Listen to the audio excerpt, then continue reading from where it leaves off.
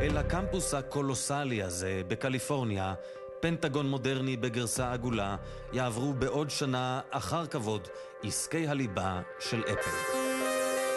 הענק שהביא לעולם סטיב ג'ובס, ושאותו מנהלים היום יורשיו, אבירי התפוח הלבן ומטפחי הגן הסגור הטכנולוגי. אבל על עץ הדעת המלבלב הזה, שכולנו תואמים כבר שנים מפירותיו, צומח עכשיו ענף עכור וקוצני. מטפסים עליו במקביל אפל והממשל. שניהם רואים עצמם פעם כאדם ופעם כאלוהים. והשאלה, מי ישלוט בעץ הדעת? מי יגן על המידע? מקבלת בחודש האחרון מימד גשמי, ארצי, והכל סביב מכשיר סלולרי אחד, ואדם שעשה את הרע בעיני אלוהים.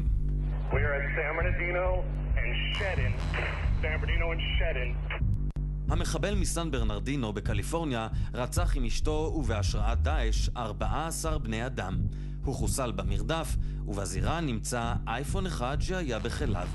אייפון 5C, שאולי עוצר בתוכו שמות וקשרים עם מחבלים אחרים. A landmark showdown in the debate over privacy versus security. A judge is ordering Apple to help the FBI break into a cell phone that belonged to one of the San Bernardino shooters. אבל בניגוד לאלפי מקרים אחרים שבהם אפל מסייעת למלחמה בטרור, כאן הם אמרו, ויתרנו כבר לפני שנתיים על היכולת לפרוץ בעצמנו את המכשירים, וכל ניסיון לשנות את זה יהיה בכייה לדורות.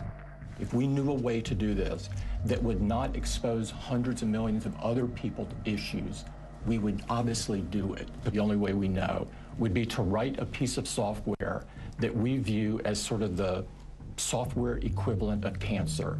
We think it's bad news to write. We would never write it. We have never written it. This case is about the future. Can the government compel Apple to write software that we believe would make hundreds of millions of customers vulnerable around the world. The battle between Apple and the FBI reached all the way to Capitol Hill today. Apple today told a judge in San Bernardino that what the FBI wants would create a backdoor, leaving personal information vulnerable to hackers, identity thieves, hostile foreign agents, and unwarranted government surveillance.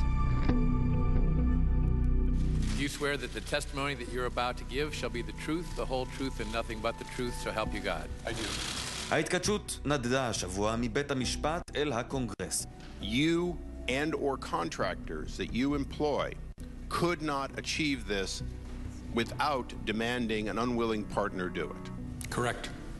חמש שעות ישבו והתווכחו מה אפשר או אי אפשר לעשות ומתי הזכות לפרטיות של כל מחזיקי האייפון גוברת על הסיכוי הלא ידוע לפענח פשעים אחרים. They are asking for a backdoor into the iPhone, specifically to build a software tool that can break the encryption system which protects personal information on every iPhone. There are no demons in this debate.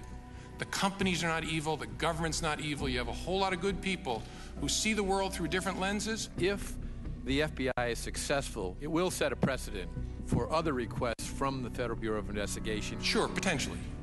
זכותו של אדם לשים מיליון מנעולים על דלת ביתו, אבל ברגע שהשופט מורה לבעל הבית לפתוח את הדלת, עליו לעשות זאת. ואם בעל הבית נעלם, והמדינה רוצה להיכנס דרך החלון, גם יצרן החלון חייב להיות מסוגל ברמה הטכנית להיענות לבקשה. דם רע ליווה את הדיון הזה בקונגרס, כולל האשמות ברשלנות. I understand from the experts there was a mistake made in the in that 24 hours after the attack. ה-FBI הודה שמישהו בפזיזות מקומית איפס את הסיסמה לגיבוי בענן של האייפון של המחבל, וכך נותק הקשר בין המכשיר המדובר לבין כל שאר האינטרנט. עכשיו יש לנו בעצם שני אישויות נפרדות, אישור, נתונים שיושבים בענן ונתונים שיושבים במכשיר. ה-FBI רוצה לגשת לנתונים במכשיר כדי לוודא באמת שאין נתונים שהם פספסו. שהם כבר קיבלו מאפל כשהם שיתפו את הענן, אלא אם יש נתונים שיכולים להעיד על קשרים נוספים, מי שלח את הארגון, אה, אה, אה, קשר, קשר לגופים אחרים, לאנשים אחרים, כדי לחפור במקרה של הטרור. יותר מזה, החוקרים כבר ניסו כמה פעמים לשנות את הסיסמה, ואם ינסו רק עוד קצת, ימחק המכשיר את עצמו לנצח נצחים. וכשכל כך הרבה מותר על ההאשמות מחריפות. The gloves are off. The Justice Department says Apple's refusal to unlock a terrorist iPhone is a marketing strategy where the tech giant is putting its business interests ahead of national security. Every time I hear this, my blood boils. This is not a marketing issue. That, that's a way of demeaning the other side of the argument. We don't put up billboards that talk about our security. נקודת הזמן הזאת היא לאפל המצב המניה פחות טוב משהיה בעבר. דעת הקהל היום זה הקלף שעליו רוכבת אפל. היא רוצה לא להצטייר כמי ששיתפה פעולה בעבר. We will follow the law. If a balance is struck, if there is an order for us to comply with, we will... There is an order. That order is being challenged at the moment as we speak. קוק הודיע שיכבד כל החלטה של מערכת המשפט, אבל ברור שהוא ינסה לקחת את זה עד בית המשפט העליון בוושינגטון. הגישה שלו מגלמת גם מסר עצוב לצרכן. אפל קצת רימתה אותנו כשהתחייבה בקול רם לפני שנתיים שאין לה עוד שום כלים לפתוח אייפון חדש שיוצא מהקופסה וננעל בידי המשתמש. אז למה שנאמין לה בפעם הבאה? השבוע כמה חברים בחת האייפון יצאו להפגין ליד החנויות בעד אפל ונגד הממשל. הממשל מצידו נבוך להודות שכדי לפרוץ את המכשיר דרוש במקרה הטוב כוח מחשוב רב מדי, מה שמיד מסיט את הדמיון אל פטנטים שונים ומשונים ואל המוח הישראלי. Welcome to Cellebrite Season. מהבניין הזה מטה חברת סלברייט בפתח תקווה יצאו אלפי מערכות לחילוץ מידע מכל פלאפון שהוא למאות מדינות ושירותי ביטחון בעולם. לא בכדי סירבו שם ובחברות דומות בארץ להתייחס השבוע לקרב בין אפל לממשל. אפשר שמישהו כאן כבר סייע ל-FBI והצליח, אפשר שנכשלו. אין טכנולוגיה איכותית ישראלית אחת, אחת, שלא נרכשה על ידי ה-NSA וה-FBI. יש להם את הטכנולוגיה. אם הם לא הצליחו, צריך את אפל. כאן, כמו גם במטה הסייבר הלאומי ובכל חברת אבטחת מידע, צופים השבוע בטלוויזיה, באבות המייסדים של עולם המחשב והמידע, מתגוששים מה צריך לעשות. I do believe there are sets of safeguards where the government shouldn't have to be completely blind. I don't think requiring backdoors into encryption is either going to be an effective uh, way to, to increase security or is really the right thing to do. כמובן שגם קולו של אדוארד סנודן, ממקום גלותו במוסקבה, נשמע. האיש שבגללו ואולי בזכותו יצאה המערכת כולה מאיזון ונדחפה לכיוון של הצפנות חזקות יותר. Whether it's Apple or Google or anybody else, somebody else who at least challenges uh, that assertion of authority and allows us to litigate that both in the courts and in the public domain. בל נשכח שזאת גם העונה שבה מייצרים הון פוליטי. First of all, Apple ought to give the security for that phone, okay? What I think you ought to do is boycott Apple until such time as they give that security number. את זה אומר מי שמשתמש בעצמו באייפון, ורק ניתן לשער כיצד יהפוך הפיל את אורו אם יתברר שמישהו העז לדלות מידע אישי מהאייפון שלו עצמו. You have no idea how much that terrified me. That someone who probably will be the Republican frontrunner has zero understanding of the larger issues of cybersecurity by, we by saying, hey, Apple should do this, which puts America at enormous national risk. אני אגיד את זה בעדינות, אנחנו יושבים פה ומדברים על הגבלה של טכנולוגיה, במקום לשבת ולדבר על הגבלה של כלי נשק בארצות הברית, כי אל תשכח שבעוד שבשביל לייצר אייפון אתה צריך כל כך הרבה היתרים ורישיונות וכפוף לכל כך הרבה רגולציה, כל אחד בארצות הברית יכול למכור נשק מהחצר שלו. ענפי הפרא של עץ הדעת הזה צומחים לכל הכיוונים. ביום שני פסק בית המשפט בניו יורק שמכשיר סלולרי אחר של עבריין סמים אינו מצדיק פריצה אלימה שכזאת.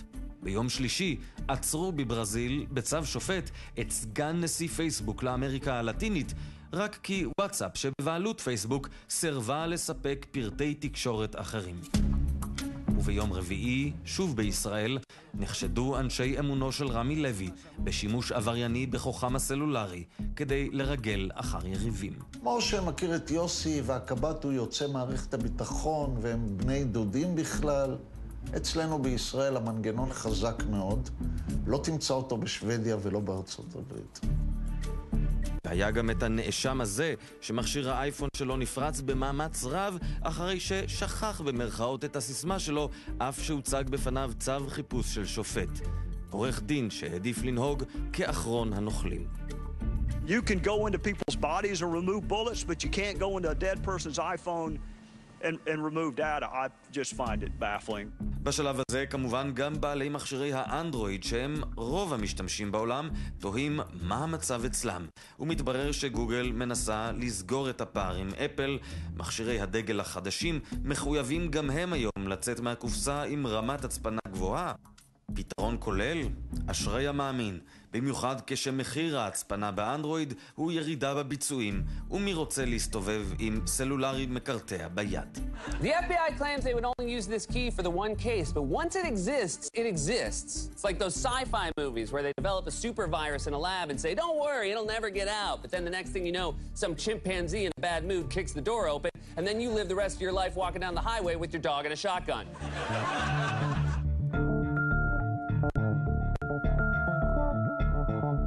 בעוד שבועיים תנמק אפל בפני בית המשפט בקליפורניה את עמדתה, ויש לשער שהאייפון 5C של המחבל, שנעול בכספת של ה-FBI, יישאר בכספת עוד זמן מה.